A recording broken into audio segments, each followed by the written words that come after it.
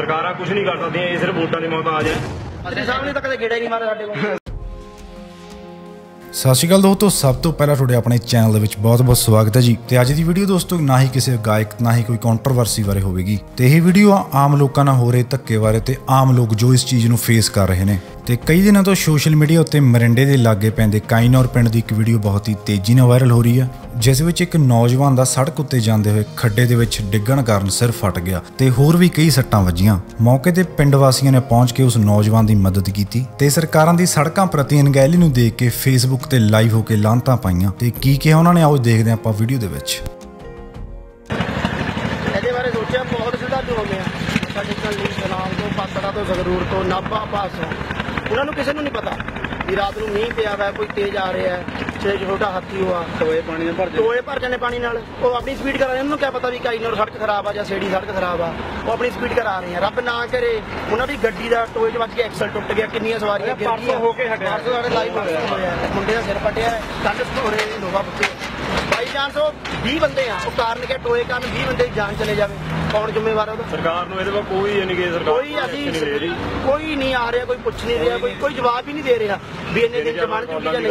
ਕੋਈ ਗੱਲ ਨਹੀਂ ਬਰਸਾਤ ਦਾ ਦਿਨ ਆ। ਠੀਕ ਹੈ ਬਰਸਾਤ ਦਾ ਸਭ ਪਤਾ ਬਰਸਾਤ ਪਰ ਬਰਸਾਤ 'ਚ ਐਕਸੀਡੈਂਟ ਹੋ ਰਹੇ ਆ। ਸਰਕਾਰ ਨੂੰ ਸਿਰਫ ਵੋਟਾਂ ਤੱਕ ਲੋੜ ਹੈ ਜਦ ਵੋਟਾਂ ਪੈ ਗਈਆਂ ਉਸ ਤੋਂ ਬਾਅਦ ਤੂੰ ਕੌਣ ਤੇ ਮੈਂ ਜਿਹੜੇ ਆਪਾਂ ਨੌਜਵਾਨ ਯੂਥ ਹੈ ਉਹ ਸਾਰਾ ਜੇ ਇਕੱਤਰ ਹੋ ਕੇ ਆਪ ਸਮਾਜ ਭਲਾਈ ਦੇ ਕੰਮ ਆਪ ਕਰੇ ਤਾਂ ਬਹੁਤ ਵਧੀਆ ਗੱਲ ਹੈ ਠੀਕ ਹੈ? ਤੇ ਸਰਕਾਰਾਂ ਨੂੰ ਤਾਂ ਛੱਡ ਦਿਓ ਸਰਕਾਰਾਂ ਕੁਝ ਨਹੀਂ ਕਰ ਸਕਦੀਆਂ ਇਹ ਸਿਰਫ ਵੋਟਾਂ ਦੀ ਮੌਤਾਜ ਹੈ ਵੋਟਾਂ ਪਾਤੀਆਂ ਤੂੰ ਓਕੇ ਜੀ ਤੇਰੇ ਆਹ ਬੰਦੇ ਆ ਕੋਈ ਫ਼ਰਕ ਨਹੀਂ। ਸਾਨੂੰ ਕਿਸੇ ਤੋਂ ਉਮੀਦ ਨਹੀਂ ਸਾਨੂੰ ਆਪਣੇ ਪਿੰਡ ਤੇ ਉਮੀਦ ਆ ਸਾਡਾ ਪਿੰਡ ਸਾਡੇ ਗਏ ਨਾ ਬਾਕੀ ਟੋਏ ਭਰ ਰਹੇ ਹੋਰ ਪਿੰਡ ਹੈ ਉਹਨਾਂ ਦੇ ਵੀ ਜਿੰਨੇ ਸਾਰੇ ਹੁਣ ਅਸੀਂ ਅੱਗੇ ਹੋਏ ਆ, ਬਹੁਤ ਅੱਗੇ ਆਉਣ ਦੀ ਕੋਸ਼ਿਸ਼ ਕਰ ਰਹੇ ਉਪਰਾਲਾ ਕਰੋ। 10 15 ਮੁੰਡੇ ਇਕੱਠੇ ਹੋ ਕੇ ਇੱਕ ਪਿੰਡ ਦੇ 15 ਮੁੰਡੇ ਇਕੱਠੇ ਹੋ ਰਹੇ ਕਰੋ। ਹਜ਼ਾਰ ਕੀ ਕਰ। ਰਹੇ ਆ? 15000 ਹੋ ਗਿਆ 15 ਅਸੀਂ ਕਰ ਰਹੇ 10 ਪਿੰਡ ਆ, ਲੱਖ ਦੇ ਕਰੀਬ ਕਰਕੇ ਅਸੀਂ ਕੁਝ ਵੀ ਕਰ ਜੂਗੇ ਨਾ ਪੈਣਾ ਸਾਹਿਬ ਦੇ ਕੋਈ ਉਮੀਦ ਹੈ ਨਹੀਂ ਨਹੀਂ ਕੋਈ ਉਮੀਦ ਨਹੀਂ। ਮੰਤਰੀ ਸਾਹਿਬ ਨੇ ਤਾਂ ਕਦੇ ਗੇੜਾ ਹੀ ਨਹੀਂ ਮਾਰਿਆ ਸਾਡੇ ਕੋਲ। ਕੀ ਕਹਿਣਾ ਚਾਹੁੰਦੇ ਹੋ? ਤੁਹਾਡੇ ਹਲਕੇ ਦਾ ਮੰਤਰੀ ਹੈ।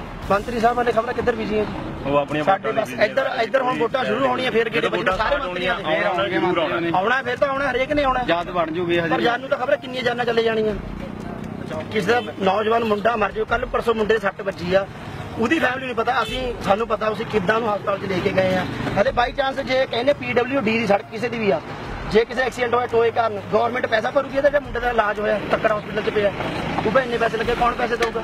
ਤੇ ਵੀਡੀਓ ਦੇਖਣ ਤੋਂ ਬਾਅਦ ਵੀ ਸਰਕਾਰਾਂ ਨੇ ਇਸ ਚੀਜ਼ ਤੇ ਕੋਈ ਵੀ ਕਾਰਵਾਈ ਨਹੀਂ ਕੀਤੀ। ਹਾਲਾਂਕਿ ਇਹ ਏਰੀਆ ਮੌਜੂਦਾ ਐਜੂਕੇਸ਼ਨ ਮਿਨਿਸਟਰ ਚਰਨਜੀਤ ਸਿੰਘ ਚੰਨੀ ਦਾ ਹੈ ਤੇ ਸਰਕਾਰਾਂ ਦਾ ਇਸ ਪ੍ਰਤੀ ਕੋਈ ਵੀ ਐਕਸ਼ਨ ਨਾ ਹੋਣ ਕਾਰਨ ਤੇ ਹੁਣ ਪਿੰਡ ਵਾਸੀਆਂ ਨੇ ਖੁਦ ਹੀ ਆਪਣੇ ਖਰਚੇ ਉੱਤੇ ਟੋਏ ਭਰਨੇ ਸ਼ੁਰੂ ਕਰ ਦਿੱਤੇ ਹਨ, ਜੋ ਕਿ ਮੌਜੂਦਾ ਸਰਕਾਰ ਲਈ ਬਹੁਤ ਹੀ ਸ਼ਰਮ ਵਾਲੀ ਗੱਲ ਹੈ। ਤੇ ਦੋਸਤੋ, ਇਸ ਵੀਡੀਓ ਨੂੰ ਜ਼ਿਆਦਾ ਤੋਂ ਜ਼ਿਆਦਾ ਲਾਈਕ ਕਰੋ ਤੇ ਸ਼ੇਅਰ ਕਰੋ ਤਾਂ ਜੋ ਇਸ ਉੱਤੀਆਂ ਸਰਕਾਰਾਂ ਜਾਗ ਸਕਣ ਤੇ ਆਮ ਲੋਕਾਂ ਦੀ ਜਾਨ ਬਚ ਸਕੇ।